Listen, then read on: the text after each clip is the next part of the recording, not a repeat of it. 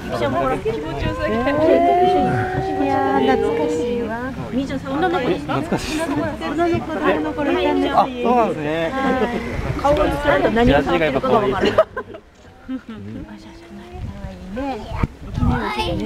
きなり大人最初やっぱあの小学生とかもあの大きい動物なんで怖がるんですけどやっぱ親もみんなお母さん女の子なんで撫でてやったらやっぱ気持ちよさそうにしたりとかそれで帰りたくないんで。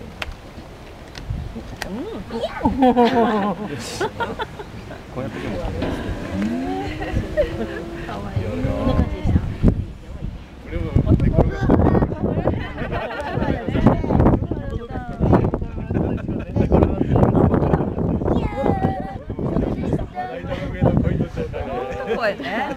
全員食べられ。たらもうちょっとあのねあのねこの辺